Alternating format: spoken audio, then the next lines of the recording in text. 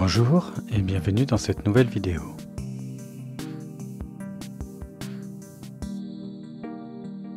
Et donc je reviens pour mon système de défonceuse sous table. Et dans cette vidéo, je vais vous présenter mon système d'ascenseur, un petit peu particulier.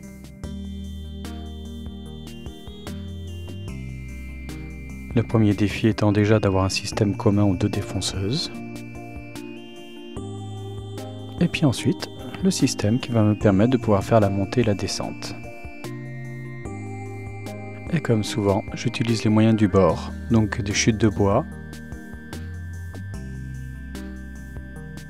des petits systèmes que je trouve à droite à gauche, et ainsi j'assemble le tout.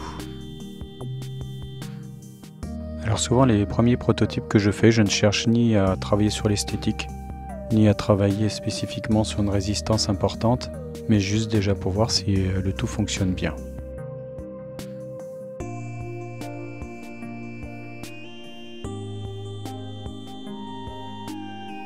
Et puis c'est au bout de quelques mois que je reviens souvent sur mon système euh, que je suis en cours de fabrication pour euh, améliorer les choses et à ce moment-là commencer à, faire quelque chose qui est un peu plus solide et fonctionnel.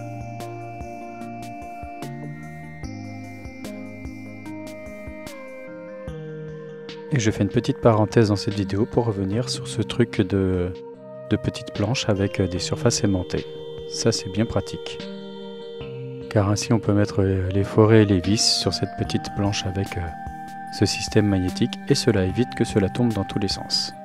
Donc juste petit truc.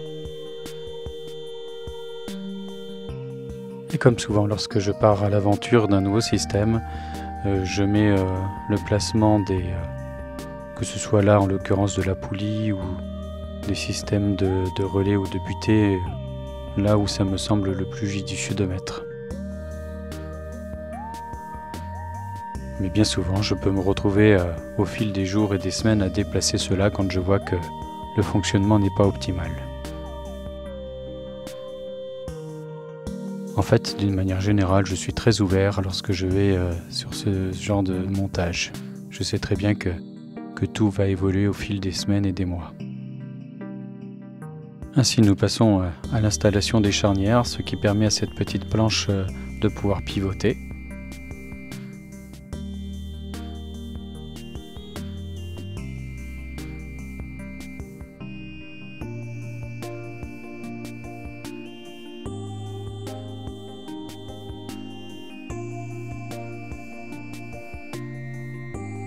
Ensuite, je passe à la fixation euh, du fil nylon. Et pour l'instant, j'utilise que de simples agrafes.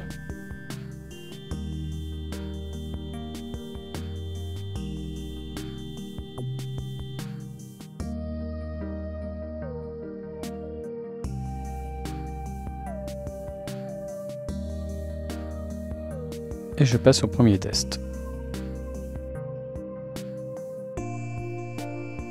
Et puis cela fonctionne.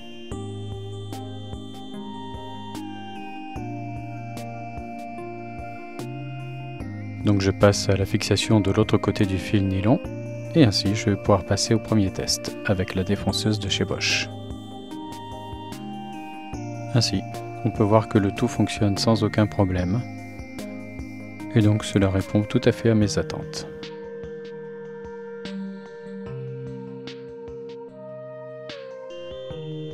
Donc j'enlève la première défonceuse pour mettre la seconde de chez Festool. Je la fixe. Et puis ensuite j'enlève le capot supérieur, juste pour pouvoir prendre les empreintes des pas de vis et donc là où je vais pouvoir mettre la petite base que je viens de fabriquer. Puis je remonte le capot et je vérifie que cette base fonctionne parfaitement. Ensuite, je passe à la découpe de petits morceaux qui vont compléter cette, euh, cette base. Et ainsi, le système sera complet. Et donc j'en profite de cette euh, autre petite parenthèse sur la scie à ruban pour bien montrer euh, ce dont on parle bien souvent sur les forums, c'est-à-dire avoir un faible écart entre le système de protection de la scie d'un côté et la hauteur du bois de l'autre. Et si pour des besoins de vidéo à certains moments je vais un petit peu plus haut qu'il ne faudrait, là en fait euh, j'en profite pour ce projet de bien montrer que c'est quand même mieux de, de se protéger au mieux. Et puis ensuite, petit ponçage, le collage et le serrage avec serre-joint.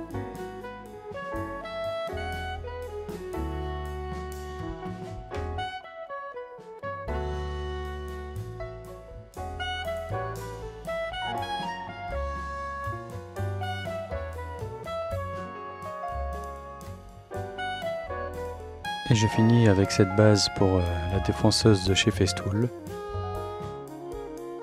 avec le collage du papier velcro, de manière à pouvoir utiliser ce système pour Festool ou l'autre système pour euh, Bosch. Puis comme avec la défonceuse de chez Bosch, j'installe le fil nylon et je vais passer au test.